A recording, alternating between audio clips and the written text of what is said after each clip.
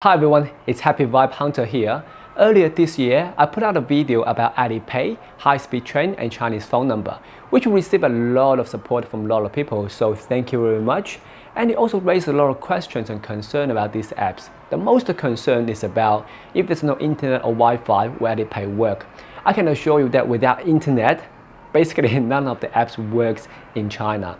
The second concern is about if the Alipay account is registered with the overseas phone number and linked with the overseas bank card, would that still work?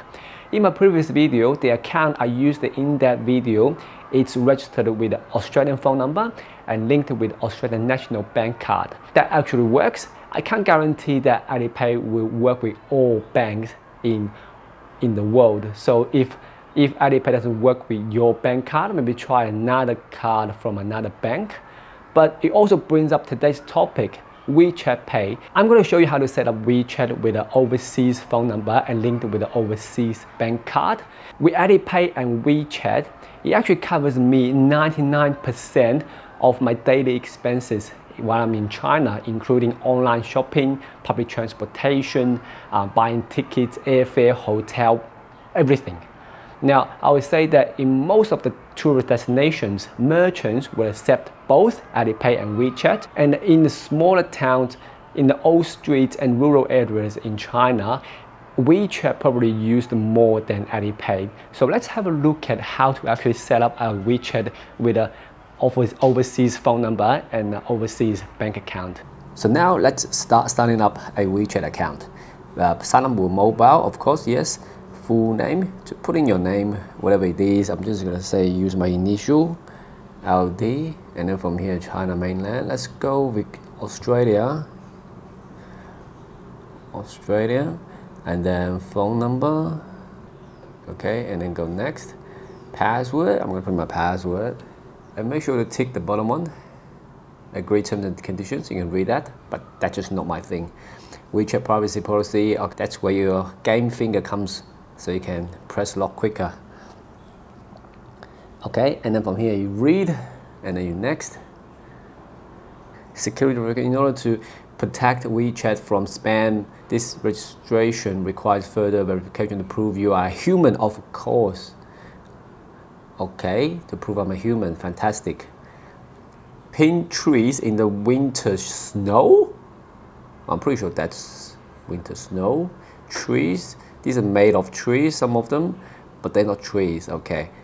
Next. What's the we to protect? Okay, okay, okay, great. Okay, great. Verify mobile, of course. So it's gonna send a code. Now, I do have my internet open. I have my Australian SIM card inserted. Um, but I, I, I, don't have international roaming with my Australian phone card. I think this uses uh, internet data. So see, there we go. So I never used international date uh, roaming with my Australian phone number. I always receive messages by internet internet data. Okay, so I'm gonna go next because I want to get a account as soon as possible. Okay, I don't know, ah, whatever. Let's go. Okay, WeChat privacy policy. What? Why? Oh, okay. Anyways, read that done. All right, next. Let's go next. Weixin service. Weixin means um, WeChat in Chinese. That's the Chinese version. Do it. Done. Authorized to enable Weixin services. Whatever the fuck. Allowed. Well, I shouldn't swear.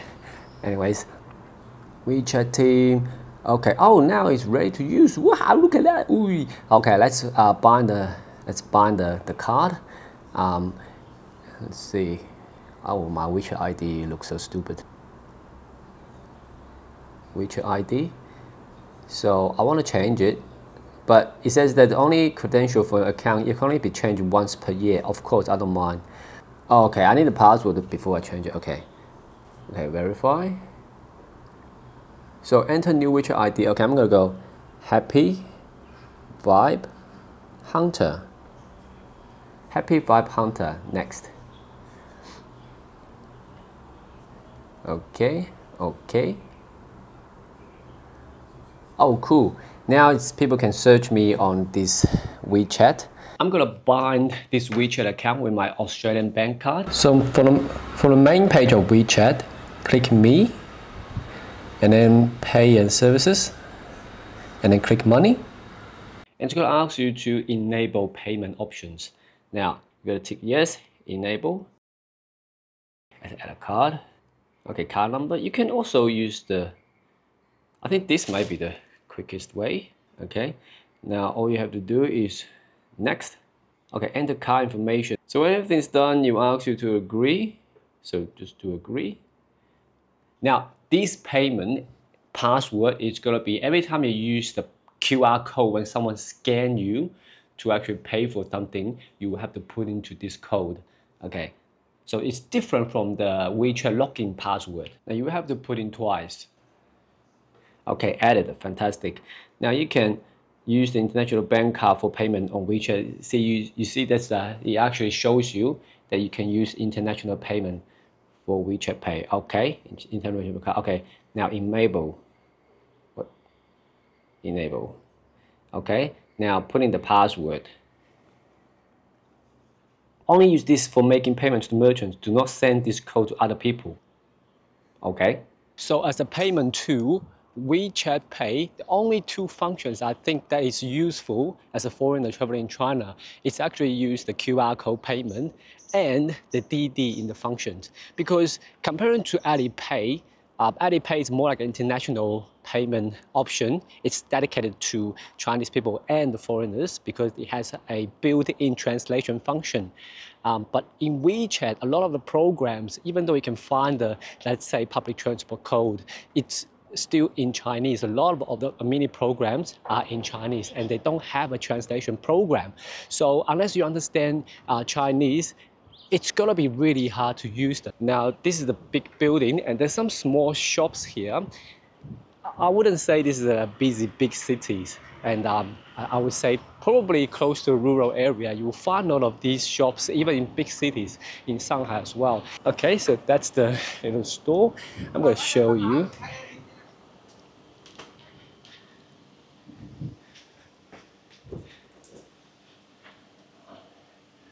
almost sleeping. So from here, that's the Alipay, which is blue square with a QR code, and that's the WeChat Pay. A lot of shops they only have the WeChat Pay, they don't have this one. So I'm gonna show you this. 老板，老板，水多少钱？三块钱。三块钱，OK。So just get the phone now. So there's a little plus sign on top, and then go scan, and then just go scan this one. For a small shop like this, a lot of times you have to type in the number and just wait for it. Okay, so it says the that's my Visa number. If you don't want this one, you can change to whatever card you add in. So you can choose the card and then put in your password. As you can hear as well, so the boss knows that the money is into their account. So that's pretty easy, pretty simple as well. As long as you know how much this is. Um, if you don't know the price and the boss don't speak English, you can just hand them the phone, they will type in a number, um, and that's automatically in RMB, which is Chinese yuan. Now we're gonna catch the um, a Didi. So with the phone here, let me put my let me put my water away first. If you want to go to catch Didi, just go me, pay and system, and then go to the bottom. Normally at travel and transportation, you usually should have Didi ride hailing and that's automatically in English. I don't know why. Um, maybe because the app I downloaded on my on my app is actually in English. Um, and I, before I actually registered with my Australian phone number. So now let's call it. I'm gonna go into Tian. Let me do that. Lucky City. There we go. Shunde. No, I'm gonna I'm gonna be here actually. Uh, I'm gonna get off here. Yes. Nice. Okay, confirm destination just wait for it. Now one tap login, okay? Yes, one tap. Now that's my Australian phone number. I'm signed in, perfect. Okay, 18.7 yuan, that's a good price, it's not peak hour. Let's do confirm request. There we go.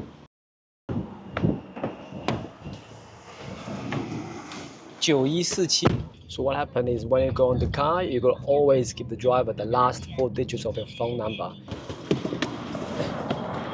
So the trip's finished. Uh, if you look at the phone, just wait for the driver to complete the trip. There we go. Uh, 1870. Okay, let's cross the road first. Now with everything uh, here, I know that at the very end it says in Chinese, but it's okay. I'm going to just go pay at the end, the blue bar. So this uh, go directly to WeChat Pay because you, you open this Didi program in WeChat, you gotta use WeChat Pay. If you open in um, Alipay, you gotta use Alipay. But if you open the Didi program as its own, like the own uh, Didi app, then you can choose WeChat Pay, bank card, uh, the Alipay. There's a lot of other options. Uh, so from here, you can choose your payment option. If you don't want a card, you can choose something else. But I only got one card registered, so I'm gonna use this card uh, and then in your pa payment password. So done. The exchange rate, I'm not sure how it actually works exchange rate, but I think it works out as pretty good rate. I think um, you can check your bank uh, to see if that exchange rate is something that you wanted. Uh, I'm pretty sure it's um, it's better than you go go into cash exchange, and it's better than you take money out of the ATM because they charge you for I don't know processing fees or or bank fees, whatever. So this is the supermarket in Yanggui. So here, scan. 请将申请条码对准扫码口，开始自助结账。